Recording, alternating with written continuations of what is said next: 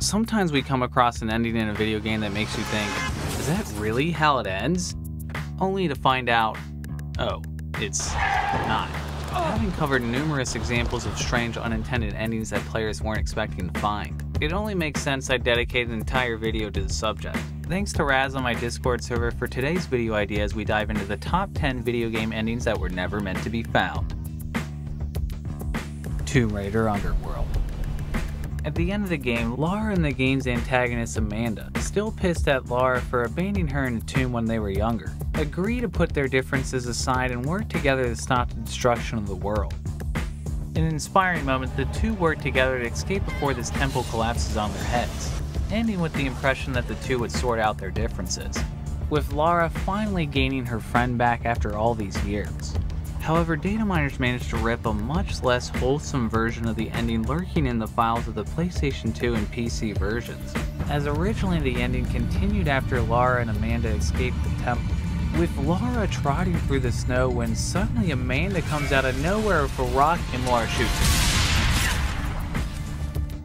Lara hesitates for a moment before nonchalantly pressing on, leaving Amanda to break her leg and presumably die which was probably deleted for being a complete 180 from the heartwarming moment seconds before. That and it was kinda dumb as hell. It was pretty clear Lara was armed. Why in the hell would you bring a rock to a gunfight? Hitman. Blood Money. In the last mission, Requiem, Agent 47 finds himself drugged and knocked out at a funeral, before waking up and unveiling his cover to blast away all the dudes in but if players didn't react in this moment of needed player response, the credits would roll and Agent 47 would end up getting lowered into the chamber and getting literally roasted, but thankfully off screen for those faint of heart. Players, however, found if they hacked open the developer tools, they could clip themselves outside of the environment with the warp tool and find a fully modeled cremation chamber that doesn't appear anywhere else in the game. It's believed this chamber belonged to an extended alternate ending, in which Agent 47 would have actually been led through the chamber, further evidenced by a tiny deleted scene that could be found on a behind the scenes video uploaded to YouTube. Additionally, if we were to rip the audio from the game, we would find two cut audio files from the level named Journalist Fed into Cremator and Wheelchair Guy Fed into Cremator, with the game's two main antagonists pleading Agent 47 not to burn them alive. Fortunately for everyone's sake, it appears the developers thought that ending the game with characters getting incinerated was maybe taking things a little too far. Yeah, maybe a little. Dead Rising 3 Thanks to ThrowingOutRox for submitting this discovery on the Oddheader Reddit. In the open world zombie beat 'em up game Dead Rising 3, players assume the role of one of the last survivors of the zombie apocalypse, Nick Ramos. ThrowingOutRox going through the files of the game, however, managed to find an unusual ending lurking in the data that didn't appear anywhere else in the game, which starts standardly enough with Nick saving one of the lone survivors, Annie. When things take a sudden turn south. Thanks for saving me, but I hear you've been a real shithead around town. I hear you've been hurting people, Nick. Innocent people. Damn. Whoa. This is Hey. dark. Wait a second. All right, listen, I'm I'm special. And I'm sorry, you guys. Now, I just didn't have time to. Oh, so you're Mr. Special, aren't you? Is that it? Seriously, though, I really am special. What? You don't think that we're special? Well, Karen's pissed. I was just having a little fun now. Come on, guys. Yeah, look at me, Mr. Number 12. I can kill whoever I want. I'm a murderer. Hey, hang on. Let- I really need to escape, all right? Oh, you're gonna escape all right. Straight to that big safe house in the sky. It's thought this ending would have occurred if you managed to kill all the survivors in the game, despite that never actually being a possibility. Whatever was done to activate this ending, it's safe to say the player would have definitely deserved it. Get him! Blade Runner. 1997's Blade Runner is one of my all-time favorites. A cyberpunk Los Angeles where synthetic humans known as replicants, indistinguishable from normal humans, roam the streets causing public terror, with detectives known as Blade Runners out to retire them, aka eradicate them. The question surrounding the film for decades was whether or not Deckard, a Blade Runner, was a replicant himself, and multiple endings and cuts of the film threw the answer into either direction. The PC game took the idea even further with many story branches and multiple endings, as any character could or could not be a replicant each time they played the game. For example, one possibility is the player could believe themselves to be a replicant and try to escape from Los Angeles with one of the other characters, or they could believe they were human and retire all the replicants and go home for a smoke. One thing I always thought was odd though is that suspect Dektora could be a love interest in the game, despite only talking to her twice in the whole story. Yet you could only end up with her with the option of believing that she was a replicant, never providing the player the possibility of escaping with her under the belief that she was a human, which seemed to be the single possibility you couldn't actually do in the game. I was surprised to find out years later, data miners found in the files there indeed existed an ending with an entirely different narration, showing that you could actually escape with Dektora as a human. The only problem is with the mass amount of scripts and story branches in the game. No one's sure if such an ending can actually be activated, though nothing promising has ever been found. Fortunately, a Blade Runner re-release is set to come out this year, but unfortunately that version is being rebuilt from the ground up as the original source code has been notoriously lost. So whether or not we get an answer to this may just be another mystery Blade Runner fans will argue about for decades. Persona 5 Persona 5 is a game that takes place across multiple high school semesters, allowing the player to build relationships throughout the game's story. Normally, if the player were to date every single possible girl in a single playthrough, on Valentine's Day all the girls would get together and rightfully beat your ass. However, only a couple months ago, data miners managed to dig up an unused ending lurking in the files exclusive to the Chinese version of the 2019 re-release Persona 5 Royal, in which all of the love interests get together for Valentine's Day and are perfectly fine with you dating all of them at the same time, with eerily none of them acknowledging the awkwardness of the situation as they shower you in endless chocolate. Supposedly, this is a deleted ending involving an ideal world scenario introduced exclusively in Persona 5 Royal, but clearly somebody along the way felt this possibility was way too weird and decided to can it. Also, apparently this is supposed to be a bad ending, as it's supposed to be a part of a message that living in an ideal world without pain and consequence would ultimately be a boring one, yet we still end up with 10 beautiful women who want to wait on us hand and foot. Yeah, what a horrible world that would be. Disgaea 2. Thanks to Hall Sarah for submitting this discovery on my Discord server. Disgaea is a tactical role-playing game featuring multiple paths and endings. One particularly difficult to achieve bad ending involved gaining 99 felonies and alley kills with Adell, including killing his own love interest Rozalin, which presents an ending where Adell kills Rozalin because she's possessed by a demon, only for him to end up possessed himself. From here, the game ends with Adell's child siblings begging him to spare their lives, before fading to black and asking you to load another save game. Oh, I hope they're fine. US players, however, were in for an even darker ending, as when they switched over from English to Japanese at the last second, they could hear audio that the game's localization department deemed too graphic for the US. As after the game faded to black, they could hear this blood-curdling audio of Adell smoothly crunching down on flesh and bone. Good lord. Yeah, I'm kind of starting to think things didn't end well for the children. Yeah, he killed them. Bully.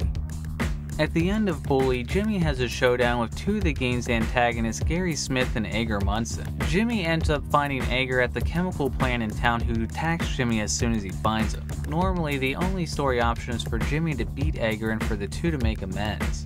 But players digging through the files found audio that seemed to allow for a darker ending if Jimmy would have lost the fight, seemingly implying Edgar would have drowned Jimmy in the chemical waste as recreated by Deadpool XYZ here. That burns, doesn't it? Making it the only time Jimmy would have died by somebody's hand in the whole game. Well, there's not really any question why this one would have been removed. Apparently, Jimmy disintegrating in nuclear waste was a line that even Rockstar was unwilling to cross. Poor little Jimmy taking an acid bath. Okay, let's maybe cover something a little less dark. Wandersong. Ah, here we go. Wandersong is a bright and colorful game where a wandering singer known as the Bard goes on a quest to gather pieces of a song to unify the world from being destroyed. Months after Wandersong's initial release, a player on the Wandersong Discord found at the beginning of the game if they were to input a sequence of notes normally used during a minigame later in the adventure, the player would suddenly jump ahead in time to the point after the minigame actually occurred in the story, which was a speedrunner's dream as they no longer had to acquire most of the characters needed to complete the game. When they got to the final scene, they expected the normal ending to play out the same, but rather an entirely new scenario played out instead. As normally at the end of the game, the world loses color as it slowly begins to end, and the world and the bard sing a song together to try to prevent their demise. But this time, since the player got there without any of the necessary characters, instead you just sit there while the world ends and then the game fades to credits. So literally everyone and everything that's ever existed dies. Damn. So much for lightening the mood. The Stanley Parable. The Stanley Parable is a game of many mysteries, certainly not being the first time it's ever been covered on the channel. One particularly confusing mystery involves an ending that appears to have never properly been found. Throughout the Stanley Parable, a disembodied narrator comments on every single move Stanley makes throughout the game. He entered the door on his left. However, it was found that if a player entered the boss's office and quickly walked backward at the exact moment that the narrator began talking, they could shut themselves outside the office and the narrator would deactivate. Stepping in. Which, when looking at the developer console, doesn't seem intentional. Doing so appears to activate a failsafe for the player, as the doors in the previous areas inexplicably reopen. If we were to backtrack to the beginning of the game, we'd find door 428 is now open, which never opens under any other way that we know. Entering the door takes the player to a mysterious area only known in the developer console as Red Stair an environment with many winding staircases and multiple empty floors. At the top of the stairs we can find a warning on the wall, with an obscured message at the bottom we can only read if we rip the file from the game, which states, both the narrator and the player must be present in order for the escape sequence to play out as intended, which unfortunately has never been achieved as no one's ever gotten here without deactivating the narrator. Past the door, the player can find what appears to be an escape pod, when suddenly the game instantly resets, creating a strange visual manifestation at the bottom of the screen. Playing the scene with the developer console open, we get more clues that this wasn't the intended way of finding this ending, as when we enter the room we can see a number of sound effects fail to load, such as elevator door open and robot hydraulics, which explains why the scene is eerily dead silent. Entering the pod gives us the biggest indication this was never meant to be found, as an error appears that says Fix Me William.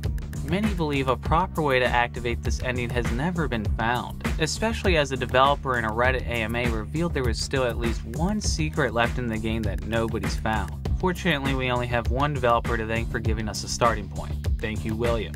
Don't worry, William, you're far from the first to make a mistake like that and end up covered on this channel. Alan, you're never living that one down. Metal Gear Solid 5 The Phantom Pain.